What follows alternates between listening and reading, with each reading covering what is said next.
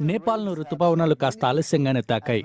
అయినా కుండపోత వర్షాల కారణంగా కొండచర్యలు విరిగిపడి దాదాపు అరవై మంది చనిపోయారు. మరో ముప్పై మంది ఆచూకీ తెలియలేదని మరెందరో గాయపడ్డారని నేపాలీ పోలీసులు తెలిపారు. కొన్ని హైవేలు తీవ్రంగా దెబ్బతినడంతో నిత్యావసరాల సరఫరా నిలిచిపోయింది. ఇప్పటి వరకు పదిహేను వందల మందిని రక్షించగా దాదాపు పదహారు వేల మంది సురక్షిత ప్రాంతాలకు తరలిపోయారు. అయితే సగటు నెలసరి వర్షపాతం కంటే కూడా ఎక్కువగా ప్రస్తుతం వానలు పడుతున్నాయని నేపాల్ వాతావరణ శాఖ తెలిపింది. ఈ ప్రాంతంలో బాగా చురుకుగా ఉన్న రుతుపవనాల ద్రోణుల వల్ల కూడా భారీగా వర్షాలు పడుతున్నట్లుగా చెప్తున్నారు. మరోవైపు ఎత్తు ప్రాంతాల్లో కొండ చర్యలు విరిగిపడుతున్నాయి. అలానే దక్షిణాన భారత్తో సరిహద్దును పంచుకునే ప్రాంతాలన్నీ ఇంకా నీట మునిగే ఉన్నాయి. కాఠ్మండూలో నీళ్ళతో నిండిన వీధుల చిత్రాలు వీడియోలు సోషల్ మీడియాలో హల్చల్ చేశాయి. దీంతో నేపాల్ ప్రభుత్వంపై తీవ్ర స్థాయిలో విమర్శలు వచ్చాయి.